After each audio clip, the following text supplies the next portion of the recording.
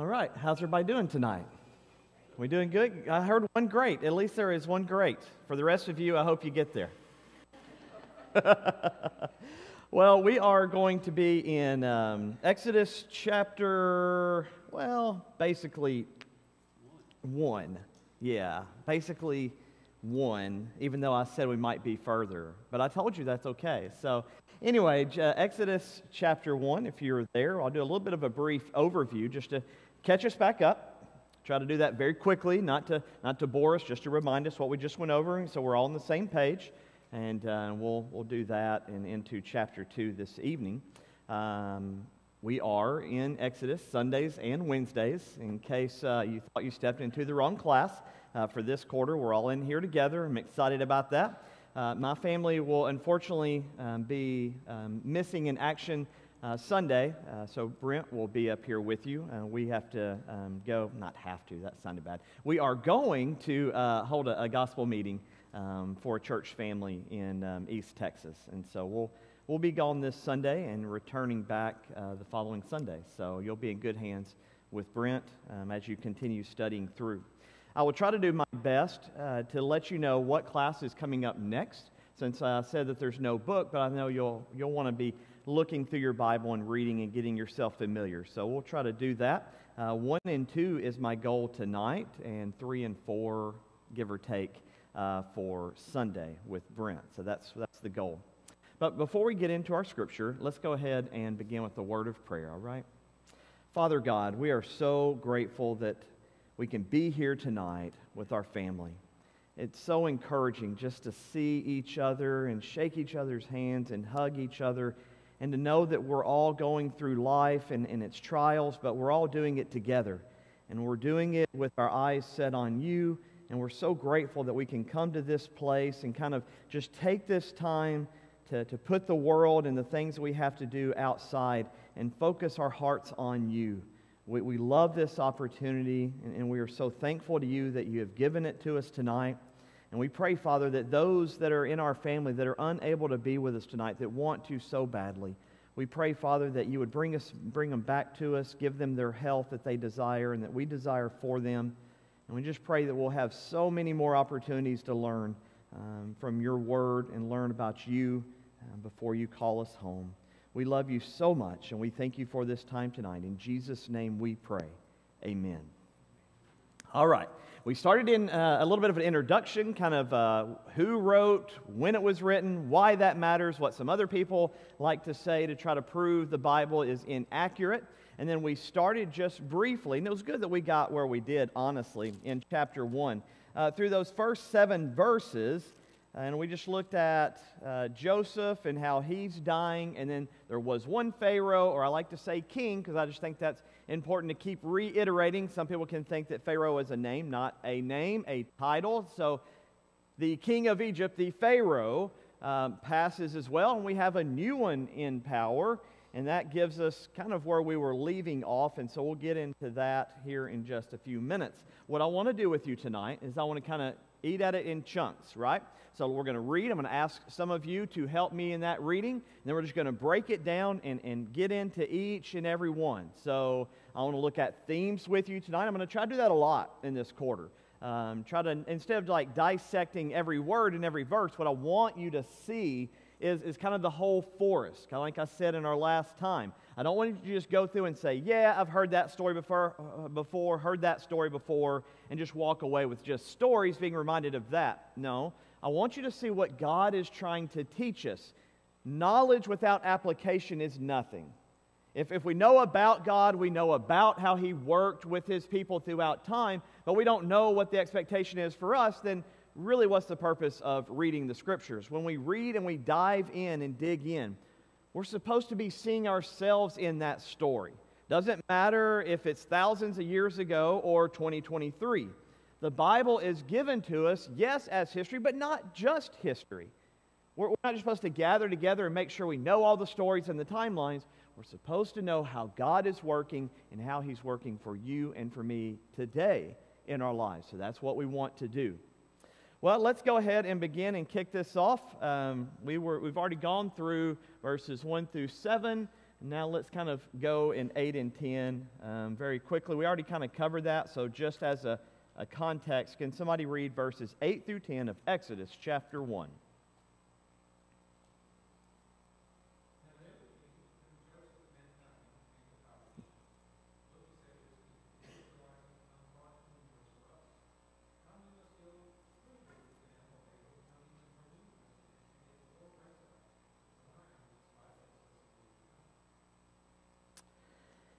There was a word. Uh, what translation are you using, brother?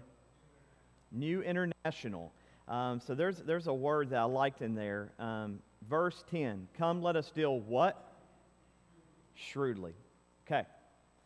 So, a part of reading through Exodus, I've kind of mentioned this before, but I'm going to try to help us um, continue to unfold it. What we're reading here is an extension of Genesis. What we've already learned in Genesis, we're supposed to keep bringing that forward. And here's what I want you to think about. I wasn't here for your Genesis. Sorry, I couldn't say that then, but I can say it now. As you read your Bibles, here's what I want to challenge you to do when you're at home and reading some other book and chapter besides Exodus. Try to look as you're reading who is or where is the Lord in every story? Where is the serpent? And where is man and what is he doing? You said deals what? Hmm. Anybody else know another story where somebody deals shrewdly with humans? The serpent, the Garden of Eden. See what hasn't crafty, shrewdly, wisely. And, and the whole thing is in the Bible is the garden is the standard and it gets repeated time and time and time again. Try to look for that when you're looking through your Bibles.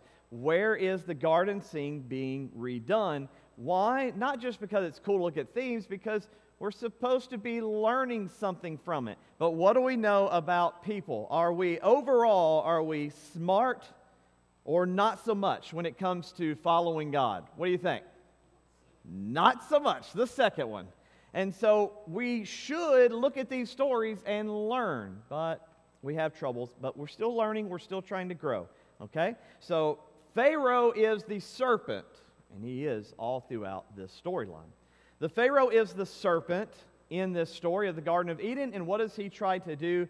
Well, he tries to do some things to God's people, and why? Because what does he feel about the people? They're, how are the slaves a threat? Somebody answer that for me.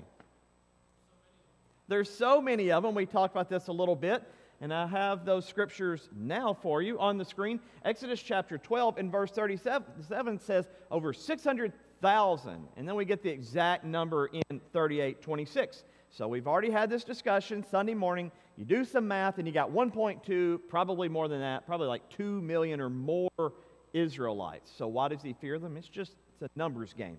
And you don't need your slaves start getting to a number where perhaps they can try to connect with another nation and then the Israelites and another nation come in to destroy, destroy his kingdom. All right? So, what is he going to do about it? Well, let's read about that and see some things that he does and make some connections to that as well. Yes, sir? I don't think they were slaves at that. When?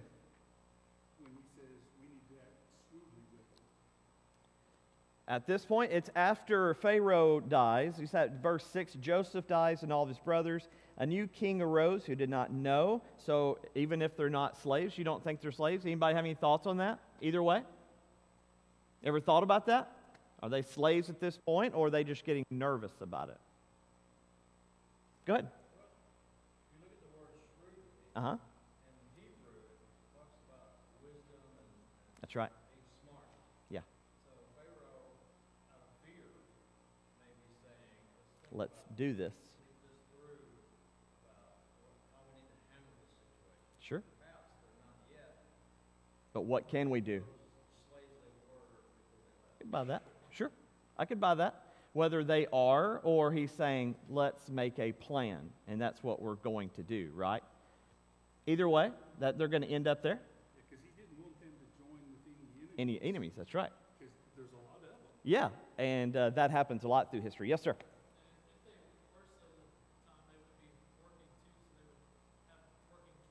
Mm-hmm. Do something, making, making things of war, right, about it. Yes, ma'am? Verse 11, it was like, before that, how we told we're afraid, therefore they set taskmasters. Sure, sure, sure. Yeah, I like that. I like it. So appointed taskmasters over perhaps is letting us know that not yet, but that's the plan, and we want to make sure that that's taken care of. I can buy it. I can buy it. Well, let's talk about now that they are. Uh, let's talk about what Pharaoh's going to do um, about that.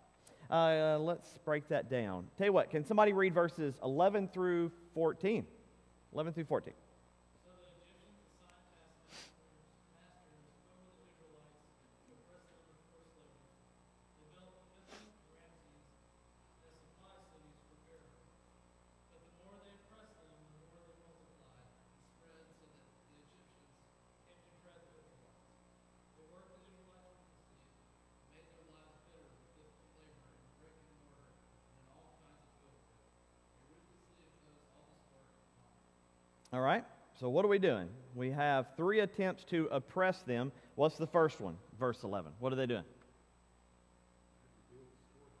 Storehouses. Uh, what, what does your scripture say specifically? I'd be interested in different versions in verse 11. What does it say that he's doing to them? Forced labor. Okay. All right. I have afflict. Anybody have anything else?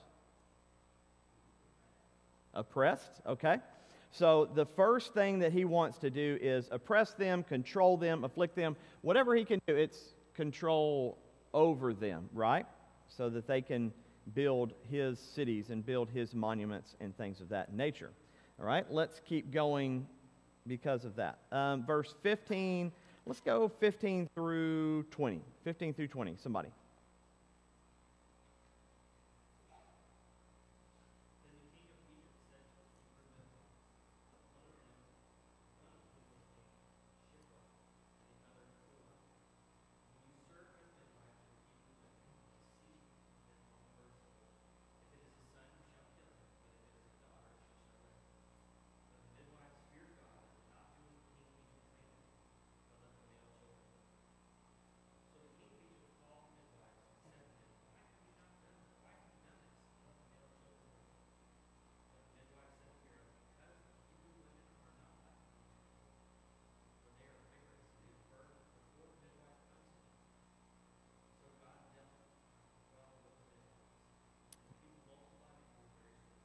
All right.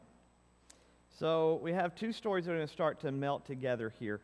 First, afflict. I want to point something out that will help us connect all the 15 through 20.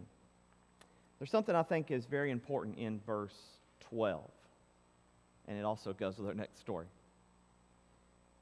Pharaoh, the serpent in the story, he tries to deal wisely, shrewdly oppress humans. But what does God do in verse 12? He blesses them. Wonder if there's any connections to that, um, 2023. What do you think? I want to hear about it. If there's connections, what is it? Let's make sure we're not like saying yes, but we take away the applications for us. Yes, sir.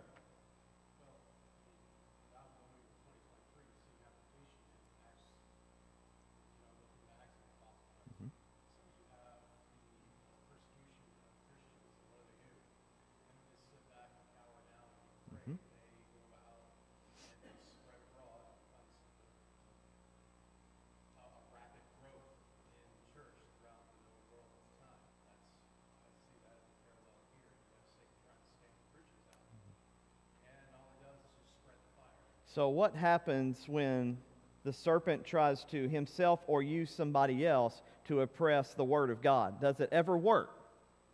You can say, well, people are oppressed, enemies win, but does it ever actually work? Emphatically, no. In, in fact, what almost always happens immediately or in time, in God's timing, after some oppression, is that faith grows. More people become followers. Or people that were not followers, they fear, they become followers. And so the first thing we see is affliction, but yet they keep multiplying. And then, but the serpent, the Pharaoh, right, he says, Well, here, maybe we'll try this. What is his second attempt here in verses 15 through 20? What's he doing here? Killing, attempting to kill. Okay. But it didn't happen, and why? This one's going to be fun. I'm excited about this one. okay, well, let's talk about who the wrong people are because I think that's very important to the overall story. Uh, okay. Okay, now they were people that were supposed to be helping, but looking at the context, do we see or believe that they are Hebrews or are they Egyptians?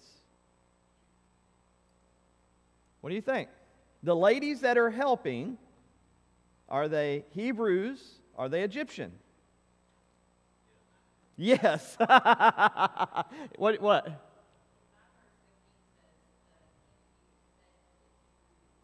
All right, okay. So we got to the Hebrew midwives. They're coming in, and so those are the right people. That's what we need to see who they are, why they would be dedicated. But can you ever now, as New Testament Christians, know that you're a Christian, know what you should do, but make the wrong choice because you're fearful of whatever money, job, other people? Is that a possibility? Sure. What we read about these people, though, is that these ladies were people that went ahead and continued to follow no matter what, and that is so important. So he tries, but he can't. Why? Why can't he? What is, what is their excuse for why they couldn't fulfill their job? Is that it their excuse, though? Is it, that's, that's the factual reason, but what did they say to Pharaoh? Well, indeed, tell me, what does vigorous mean, brother? I like your language there.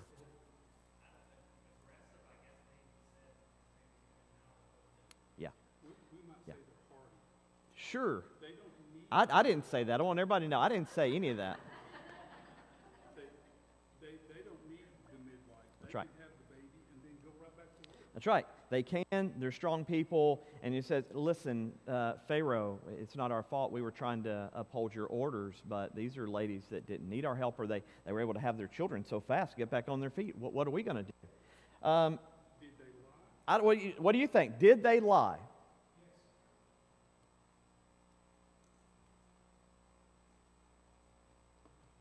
Then does he approve of lying?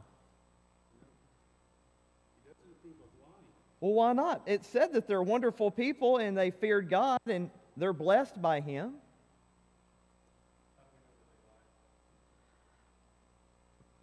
What do you think they did? They did not. Is it possible? I, I, I'm, I'm with you. Now, if you hold a different, I'm not going to argue with you. I, I don't see how it's not a lie. Even if it's one of those where it's true, but it's like teaching our children, yeah, you kind of arranged that as a truth, but you knew. I don't see how it's not at least some, some misleading because that's the storyline. Why else would we need the story? The story is there's some Hebrews that were told to uphold a task, but verse 21 because the midwives feared God, he established households for them. They feared, and so therefore they kind of attempted to not do it. So again, um, does God approve of lying? I had a no. Yes, sir. Okay, same. Same. They're, they're not here. I don't know where they're at, even though they're. Okay? Yes, sir. Please.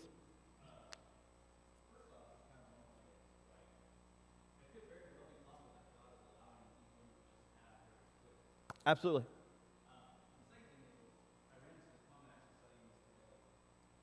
Sure.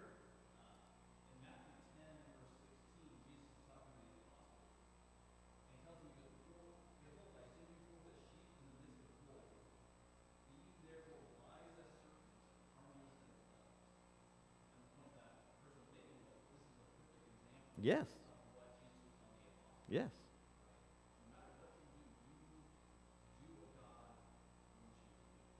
Agreed.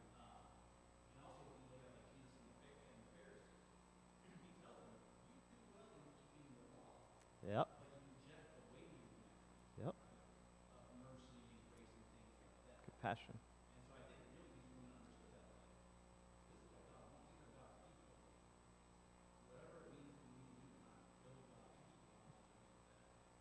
I 100% agree. I'm with all of you, but I don't think it's healthy at all for the Bible class teacher to stand up in front and just say, This is what I think, and you should think it too. The purpose is to grow in knowledge and push ourselves on, hang on, kind of seems like he's rewarding lying here. He's not rewarding lying, he's rewarding verse 21. Because the midwives feared God, he established households for them. Don't look at your scriptures and say, so like this whole black and white, right, wrong. There's not a single person in history outside of Jesus, the Son of God, that is perfect without sin. Are we saved tonight? Are, are we saved? Are any of you perfect? The point there is, it's not, well, God is okay with lying.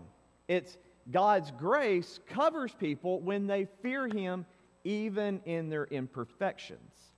It's about fearing Him, following Him, and being wise as, when you live in a fallen world. Yes, Adam.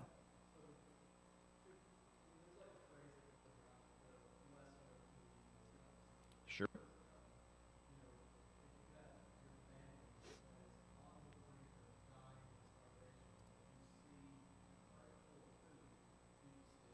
Sure. Sure.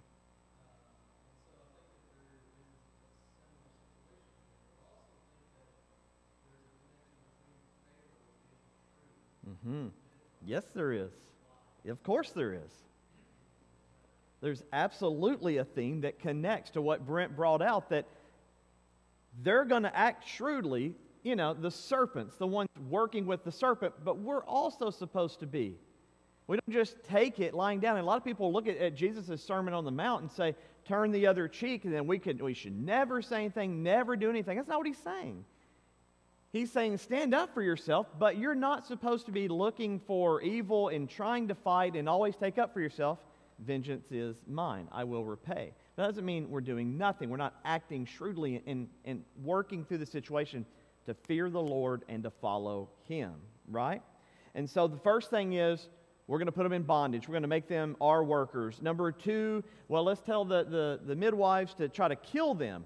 That doesn't work either. So, verse 22 Pharaoh commanded all his people, saying, Every son who is born you are to cast into the Nile, and every daughter you are to keep alive. So, another attempt, just start throwing them into the Nile. What, whatever it is we can do, let's do that. Okay? Interesting concept. I bring back up verse 11. They afflicted, verse 12, the more they multiplied and the more they spread out. As you said a minute ago, when Satan tries to oppress, God comes over the top and he always wins. And he wins this time by you're trying to kill children, I'm going to bring a deliverer that will do great things and show the power of Yahweh. Do you have a comment? I was going to say that when we were studying Genesis, we saw that God would take care of his people, Mm. even when his people were not doing right. Yeah, Jacob. Take Abraham. Yeah. He does a lot wrong. He lies. He lies. Uh, But yet he still blesses him with riches from Egypt. Does it mean it's, it's about perfection? well, it, it just means God is going to take care of his purposes. That's right. He wanted Abraham to be the father of a nation. He wanted to give him land so right. that the seed could come and bless all nations. That's right. So no matter whether Abraham himself did something stupid, Yeah. d- did something wrong, or outside forces tried to do something to Abraham, he s- was successful. He kept growing. He kept his herds get bigger. All he needs from us is a willing heart to put him first. That's all he needs. That's all he needed out of the disciples. He didn't need perfection. He didn't need intelligent men, people with a lot of money. He just needs a willing heart. Yes, sir. Go ahead. You mentioned Pharaoh being Satan in this picture. In Genesis three fifteen, Satan knew that a child would come, the seed of the woman would come and crush his head. hmm And so we see him at play in Exodus one with three different plans God is going to power him. Eleven figures. And then,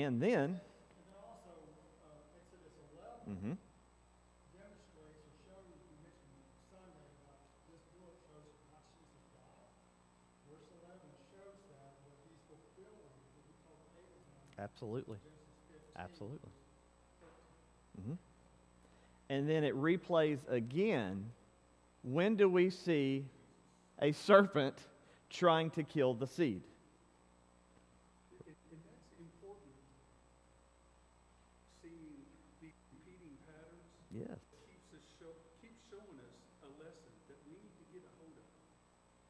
And That's, that's the point that it's not, oh, there's a story and we can teach it to the kids and so on and so forth. It's if we can catch these reoccurring themes, then what we can do is say, what, what, what's going on in my life? Who is trying to tempt me? How, who is the serpent using in my life? What am I giving into? Am I allowing him to win in my life? Am I following myself and what I want, or am I following what Jesus wants? Because it's the same. There, there's nothing new. And to be quite honest with you, the serpent does not have to try that hard in our lives. He just doesn't. It's not like he has to recreate the wheel. He does the same thing, and I'll bring that up um, here a little bit later about what he did in the garden that he keeps doing now. Same thing. John, do you have a comment?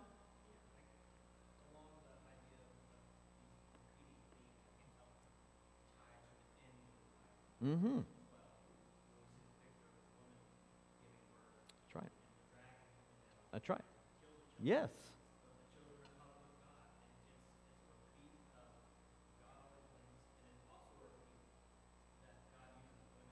Yes. Yes.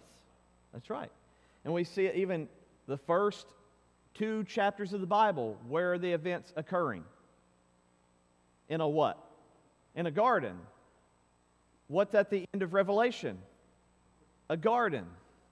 The New Jerusalem coming out of heaven, and it's the garden with the rivers. The whole Bible is one story that leads to Jesus that allows us to see God created everything in perfection. We failed, but He will not fail us. And as long as we stick with Him, He's going to recreate the garden and we will live in a garden atmosphere, Garden of Eden, forever. That's the theme that we're seeing. Yes, ma'am.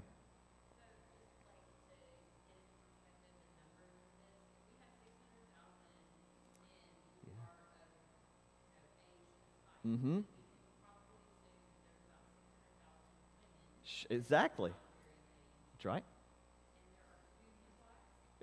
right. Right.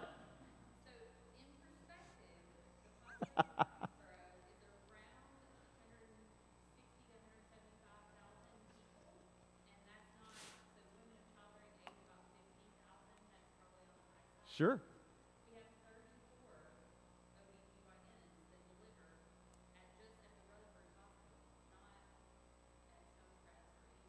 So keep going with that money, with that, with that amount. Uh huh.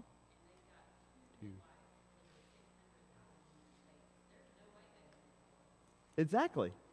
But or are we are we only learning about two? I, I don't know. I, I don't know. It's sure. Sure. Either way, it, it, it speaks to how many, how many there were, right?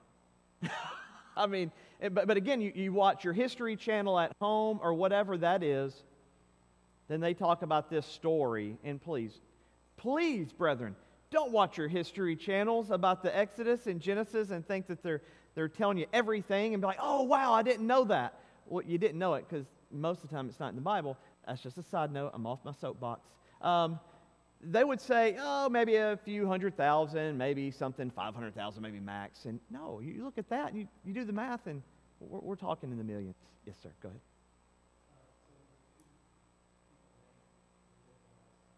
Sure. Yes, it is. A term. Absolutely. And, and also, uh, uh, something that I've learned over the years is um, when reading through the scriptures, a lot of the times when you read certain things, it's not necessarily just giving you just that. There's so many metaphors, right, that, that are in the scriptures that are, that are describing so much more. So, um, you know, whether it is and even if it's the, I, I feel like there would be more, but uh, you don't have to agree with me. Yes, yes, sir. It seems to be that these are two that would have given audience to Pharaoh. Sure. You wouldn't bring all the Hebrew midwives. No, he's not going to allow that. Yeah. You, nobody just strolls up in to talk to the Pharaoh. The leading ladies Sure. all the midwives. Absolutely. they were supposed to go back and share this message. Yes, And then, because they were the leaders, Sure. they're the ones that get called back. sure. Well, I mean, if you want to go down that path, it, well, never mind. I won't do that. That's, that's for another, another time. That's a private conversation. We'll, we'll, we'll let that. Yeah, I'm with you. I'm with you on that. So that brings us to chapter 2. Chapter 2. Yes, please. Yes, please. Yes. Mm-hmm. Amen.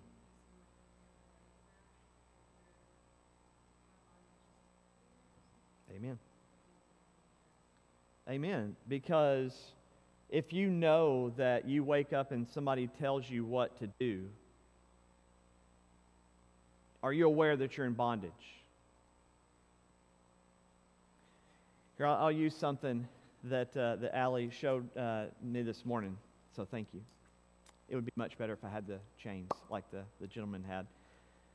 But uh, another preacher was showing something like this. He was saying that we don't realize what bondage looks like. Because he said if you had a chain, and think about a, a big chain that you would use like pull something, you know, on the farm. If Satan just walked up to you and said, Here's what I want from you, Steve, I, I want to put this around your neck. And now I'm gonna, you're gonna be enchained to me. Would you ever say yes? No. But what if, what if, back to Jennifer's point, that what if Satan gave you one link of the chain? Would that seem as big of a deal to you? Well, it wouldn't because I know that every single one of us in this room, including myself as the chief, what we do is we make excuses with things in our lives and our sins, and, we say, well, that's just one little chink. I'm, I'm still Jesus's, but this is just one little thing that I want in my life, one little sin, one little thing that's mine. And then what we do is we take that chain, and then next week we have another chain. And they're like, and then by six months later, we have a chain this long, a year later, a chain this big, and it's just those small decisions that we've made over time. And then we take the chain and we put it around ourselves. And do you realize what's happening there? He didn't build the chain, He didn't put it around your neck. Who built the chain of sin around your neck or your soul? We did. He doesn't have to build it for us. He just gives us some opportunities and we sign up and say, sure. And then every time we say sure, we make the chain stronger and longer and we chain ourselves to the serpent instead of our Savior and our Creator. How sad is that? That's the theme. Enslavement. Goes back to the garden. Do you want freedom? I'll give it to you. You just can't eat of that one tree. You eat of the one tree. And here's the side note, since we're already side noting. It's okay. If it helps us and encourages us, it's worth it. How many times has something happened in your life and you said, That's not fair? How many times in life has something happened to somebody else and you've either said or at least thought it, where is God in that? Aren't we his children? Here's the problem. Here's where the enslavement comes. In the garden, they had every tree, they had everything. They took the one thing and then was like, what's going on here? Likewise, what we do. God gives us, you know, salvation, eternal hope, eternal life, knowing that whatever happens to you on this earth will never happen to you again once you're in His presence because you're in His presence and you have eternal life. And then, for some reason, we will take millions upon millions of daily blessings, such as just breathing and getting up in the morning, and then one thing will happen, and we'll say, God, where are you? The one thing. What would you say to your children if you fed them, clothed them, gave them a place, got toys out, you know, coming out of the, the room, and they came to you and said, Mom and Dad, I didn't get the one toy I wanted for Christmas? What would you say to them? That's right. Life's not fair. And what else? Hopefully, that's as far as it goes. Maybe more. Because we see in our children that I am giving you everything. I'm sacrificing my money, my time. You didn't get one thing and you're mad at me? Don't forget to turn that back around on yourself. Because we do the same thing. And that's when Satan uses the enslavement to say, God doesn't love you God doesn't need you. You don't need him. Yes, sir.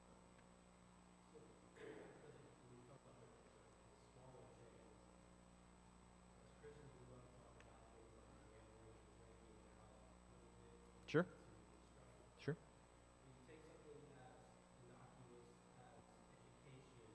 Yes. Yes.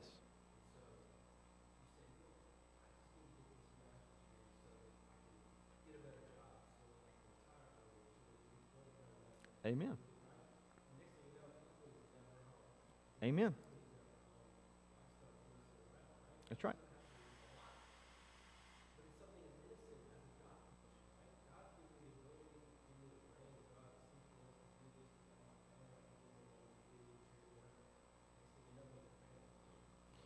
Well, let's take that back to the garden. Because the way that we'll word that is can you believe it? Husband, wife started cheating on the marriage. How dare they? I thought they were Christians. Hang on. What was the husband doing? Was the husband at home? Was he paying any attention? Was he being a godly husband? Was he following the example that we see? It's the small choices. We blame the wrong people. I don't know, maybe like the garden. Eve takes it, and what does she say? So, yeah, serpent did it. Serpent made me do it. And then we talk to Adam, and it's Adam talks to the Creator, and what does he say? This woman that you gave me, she's the one who did it. You got to blame it on somebody. But it's all because we have chosen the little pieces of the chain, and it's our fault. It's our insecurities, our bad decisions, our lack of being dedicated to our Creator, and we try to say, well, it's my job's fault, it's the bank account's fault, it's my wife's fault, it's the children's fault. No, it's not. We make decisions whether we want to put the Lord first or not. Do we want to put Him first, or do we want to put ball first? We want to put the Lord first, or happiness with the kids? Lord, or our kids being popular? The Lord first or some trip. The Lord first or whatever. You get where we're going. And so, small things that teach our wife or our husbands or our children who is first. You would say, Well, listen, I'm doing it for their good and their happiness. And I would say, Their happiness comes from peace in the Lord, not in everything else. The Pharaoh is clearly a serpent that is trying to enslave these people, and it's all because of what we already said. The serpent knows what's coming, he knows somebody's coming to crush his head, and he thinks this might be it. He has some idea of what's going on here, and he has to snuff it out. But it's those that were not perfect, they were liars. I think, you can disagree. I think that they may have fibbed a little bit, but that wasn't the point. The point was they feared the Lord and they followed him. God uses imperfect people to accomplish his will as long as you fear him and put him first. And to me, that's what's going on with this story. Yes, sir. And watch how he escalates. Yeah. And it's kind of like you said, if you gave them the whole chain, they, they would have bowed up and said, uh-uh. Nuh-uh. But you give them a little chain and they deal with it, and then they get adds to it, and they deal with it a little bit more until there gets a point where they want to start fighting, Yeah. but it's too late. Yeah. And I was kind of seeing the parallel, you know, because here he said, okay, well, if I can't get the midwives to do it, I'm just going to have my people Yeah, they'll do it. have to follow me. Yes. And so, or else. And so he, he gives the rule that they are to put the Hebrew boys to death. That's right. Uh, but what if at the very beginning when uh, this this is probably a bad analogy because if your government tells you to do something and it's not going against God's law, Mhm. you do it. Mhm. Right? Mm-hmm. Well, when they started oppressing you, Mhm. what if at that point they bowed up and said, "That's not the way we're going to do it." Mm-hmm. Mm-hmm.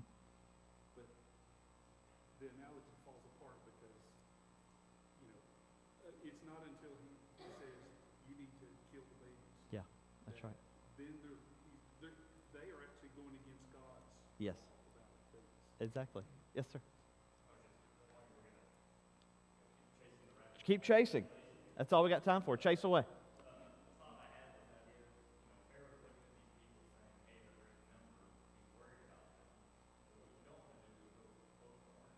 Yeah.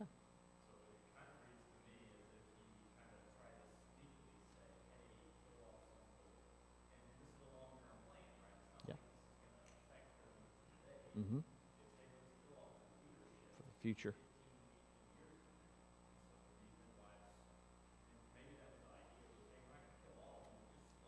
Yes.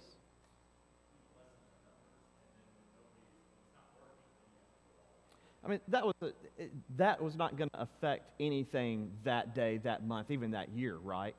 They were already that number. He's just trying to secure his future as the king, is what's going on there. Absolutely. Well, that's all the time I have. I'll give you just this. So we talked about what it what you need to do is fear the Lord, put him first. Keep that in mind as Brent goes into chapter 2. That's a little different. Sorry, brother. Goes into 2 and, and looks at what the Lord does to people that fear him in chapter, or fear him and follow him, put him first in chapter 2. All right. Thank y'all so much. Appreciate it.